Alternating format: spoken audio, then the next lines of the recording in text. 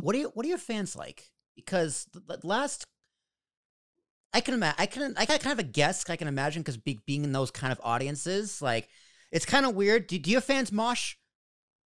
Yeah, yeah, so, we do. The, it depends on the t- on the area, but yes. the, the the mosh pitting fans, and like I was at a festival with my brother recently because he really likes that screamo music. So we saw like Baroness play and like yeah. music music like that.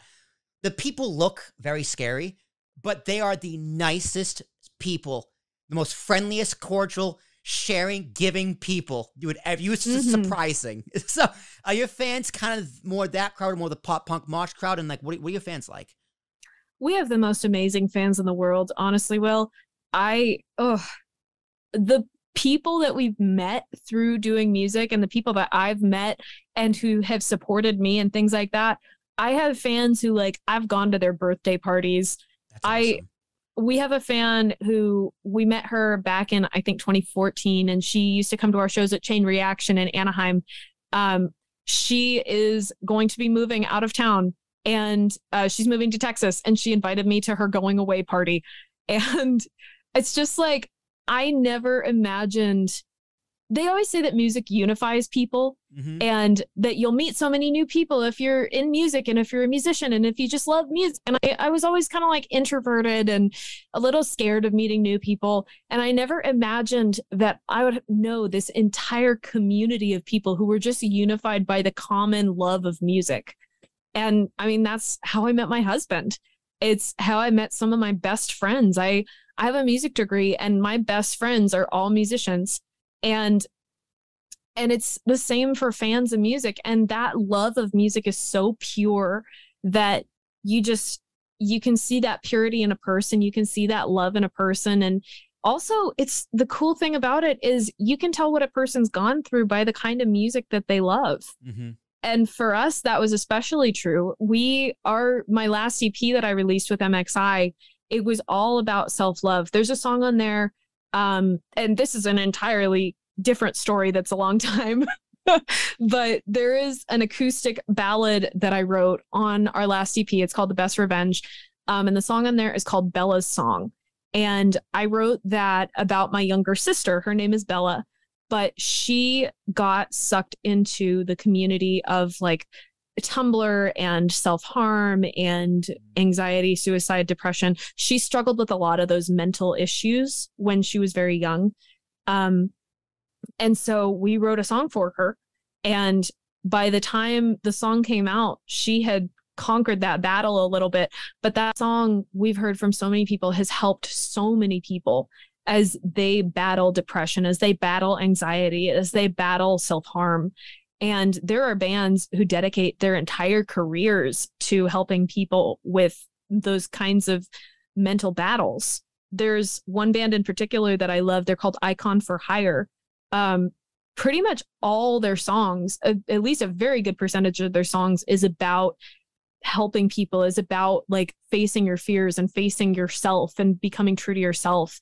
And so, especially being in that like very niche part of the metal community, we met some really incredible people who were overcoming impossible things. I remember one of our fans, his his name was Michael. Um, he has he has actually passed away a couple years ago, but he was dealing with a very rare form of cancer, and he loved our music. We met him at shows. He he came to, you know, all the shows he could and we communicated with him through social media and I remember one of the last conversations we had, he told me that our music had made a difference and that he was so thankful to have met us and he was such a great soul, such a such a wonderful person, but just like getting to have those connections, getting to know people who have gone through difficult things, like more difficult things than I could ever imagine. It's made such an impact on me and it makes an impact on other people. And I just think that spreading that light to as many people as you can through music, it's one of the most important things that you could do with your life. It's it's amazing.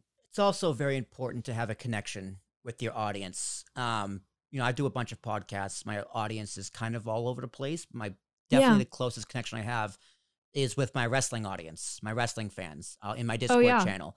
And one of the coolest things I've ever done was bring a fan on this podcast, someone who's listened to me for years. I mean, he's been on my wrestling podcast a few times, but I brought him here talked to him one on one. Mr. Fretz, shout out to Mr. Fretz, love you, man. Um, and it's just weird. It's awesome hearing their stories, like you know how they find you, what they like about your stuff, and all that kind of Yeah. things. So I know you had a podcast, and if you do bring that back, and when you bring that back, I would highly encourage you to find a fan and just get them on and just talk about music, passion, and all that stuff, because it's gonna come across as something completely different than like just a, oh, you know, you have a song coming out, tell me about it. Yeah.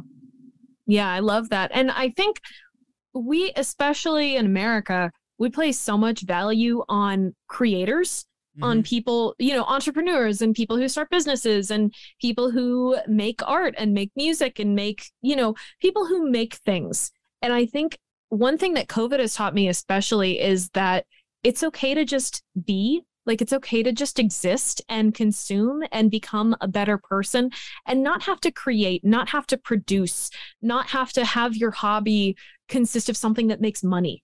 I think Mhm. one of the most beautiful things and like you were saying about about fans about people who just consume what you're making and they you know they listen to what you're doing those are i i think a lot of the people who listen to my music are way better people than i am i think that they are you know they've led such interesting such amazing and such inspiring lives and i am inspired by people who I don't like calling them fans. I like calling them friends, but Mhm. you know, who would people who would consider themselves a fan.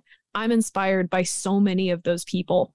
And it takes a lot more bravery to do some of the things that they do than for me to just sing, you know? hmm Definitely. Well, I've I've listened Yeah. to your stuff over the past week. I've done done my homework on you, and I can consider myself a fan now. So that's Aww. that's very exciting. But